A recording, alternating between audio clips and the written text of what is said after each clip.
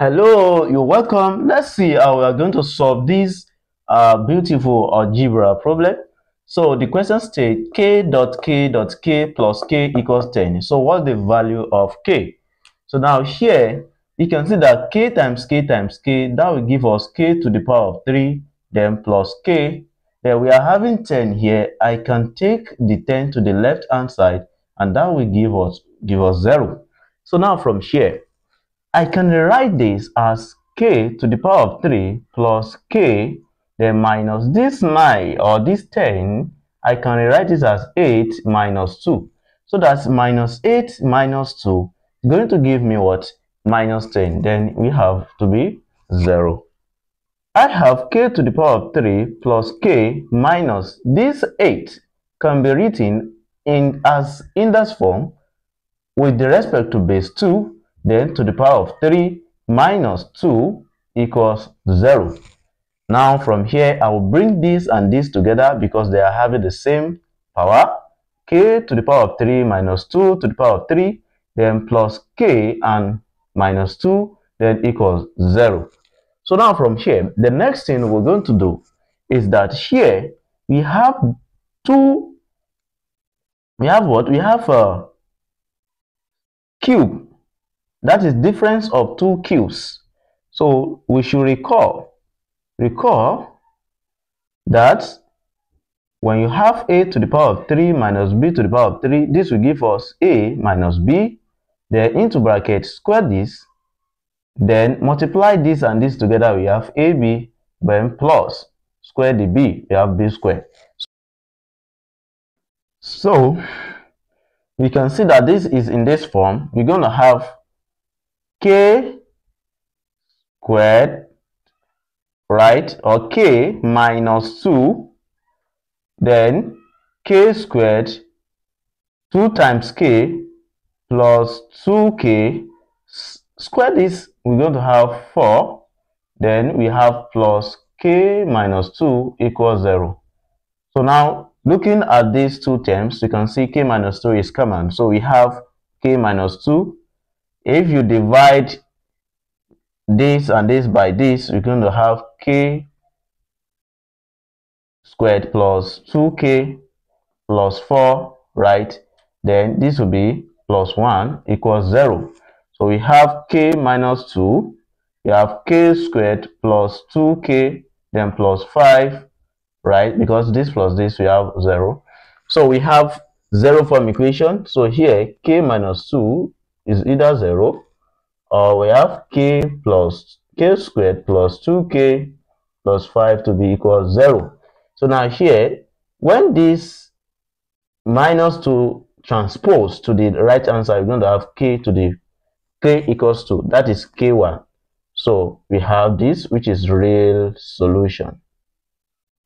Now, from here, we cannot stop because right from the beginning, this k equals to just one solution okay?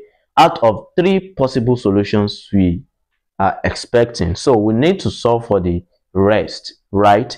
So by solving this second equation completely right?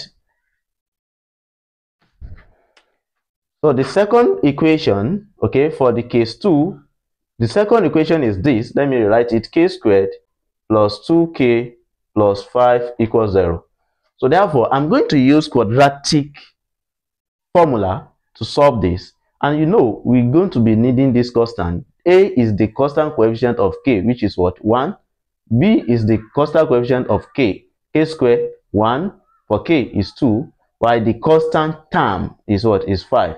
So we're going to have k equals, taking the quadratic formula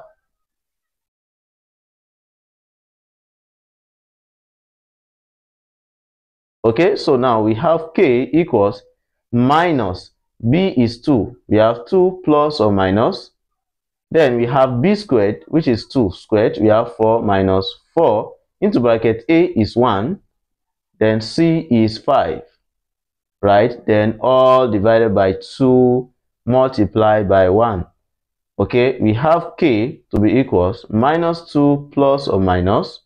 Then 4 minus 4 times 5 we have what we have it to be 20 then divided by 2 So we have k to be equals minus 2 plus or minus 4 minus 20. That will give us minus what? Minus 16. Then divided by 2.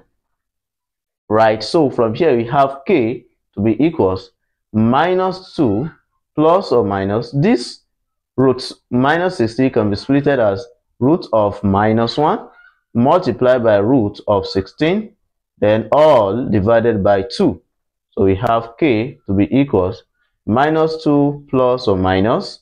This root of minus 1 is what? Is i. Okay then root of 16 is 4 divided by 2 right? So now from there we can have k to be equals. We can see 2 is common in all. So it means that 2 divided by 2 here we're going to have minus 1 plus or minus this divided by 2 we're going to be having i2 and coming to the denominator 2 divided by 2 here we're going to be having 1 so therefore we have what? We have k2 to be minus 1 plus or plus i2 or we said 2i okay or we said k3 equals minus 1 minus 2i so we have what? We have this and what? And this. Why we have k1 to be what? K1 to be 2 so these are the three solutions we have okay these are the three solutions we have. So let's quickly check. Let's quickly check for only when k when k equals 2 so when k equals 2 that is the one that is real uh, solution. So we're going to have k okay dot k dot k plus k equals 10 that is from the equation given to us so we're going to have 2 dot 2 dot 2 plus 2 is this going to give us 10 now 2 times 2 times 2 that will give us 8 plus 2 is this going to give us 10 so we can see 8 plus 2 is 10 equals 10 so therefore we have what? We have that. If you put this uh, complex root also back to this maybe by using your calculator you see that they are going to satisfy the given equation. So thank you so much for watching. Kindly share this. Subscribe to our youtube channel if you have not done that before so that you can enjoy more of our amazing content. Thank you. Bye bye